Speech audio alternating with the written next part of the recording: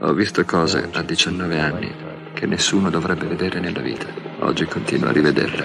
Nam è la cronaca della guerra in Vietnam, combattuta da ragazzi di 19 anni in una giungla da incubo contro un nemico implacabile. Nam, la voce dei protagonisti, spiega perché la più potente macchina bellica del mondo ha perso.